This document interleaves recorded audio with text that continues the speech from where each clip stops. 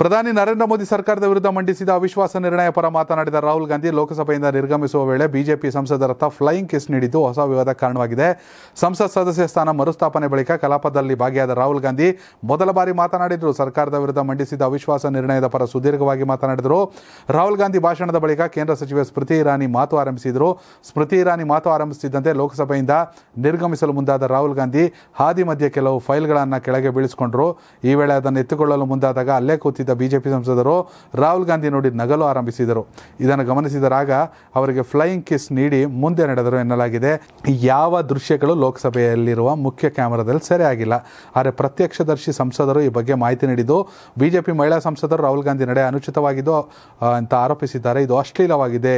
ಸ್ತ್ರೀ ದ್ವೇಷದ ಪುರುಷ ಮಾತ್ರ ಸಂಸತ್ನಲ್ಲಿ ಮಹಿಳಾ ಸಂಸದರಿಗೆ ಫ್ಲೈಯಿಂಗ್ ಕಿಸ್ ನೀಡಲು ಸಾಧ್ಯ.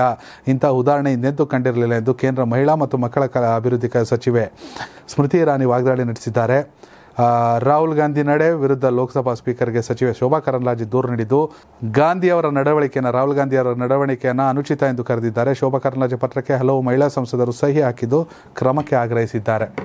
ತಮ್ಮ ಸ್ಪೀಚನ್ನು ಮುಗಿಸ್ಬಿಟ್ಟು ಹೊರಡುವಾಗ ಒಂದಷ್ಟು ಫೈಲ್ ಬಿದ್ದೋಗಿದೆ. ಆ ಫೈಲ್ ಎತ್ಕೊಳ್ಳೋಕೆ ಹೋದಾಗ ನಗಾಡವ್ರೆ ಅವ್ರಿಗೆ ಫ್ಲೈಯಿಂಗ್ ಕಿಸ್ ಕೊಟ್ಬಿಟ್ಟು ಹೊರಟವ್ರೆ. ಅದರಲ್ಲಿ ಅನುಚಿತ ವರ್ತನೆ, ಮಹಿಳೆಯರ ವಿರುದ್ಧ ಅಸಂಬದ್ಧ ವರ್ತನೆ, ಮಹಿಳೆಯರಿಗೆ ಗೌರವ ಕೊಟ್ಟಿಲ್ಲ ಅನ್ನೋದು ಬಿ ಜೆ ಪಿಯ ಸಚಿವರುಗಳ ಅಥವಾ ಬಿ ಜೆ ಪಿಯ ಸಂಸದರುಗಳ ಆರೋಪ.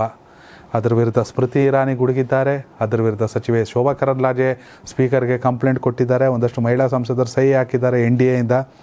ಎಸ್, ಅದ್ರ ಬಗ್ಗೆ ಏನು ಚರ್ಚೆ ಆಗುತ್ತೆ ಅಂತ ನೋಡಬೇಕು.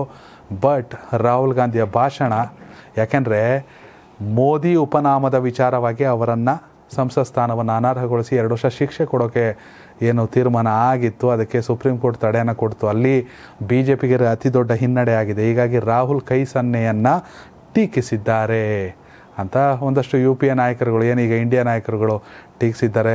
ಬಿ ಜೆ ಪಿ ವಿರುದ್ಧ ಕೂಡ. ಬಟ್ ಸ್ಪೀಕರ್ ಇದ್ರ ಬಗ್ಗೆ ಏನು ಕ್ರಮವನ್ನು ಕೈಗೊಳ್ತಾರೆ ನೋಡಬೇಕು.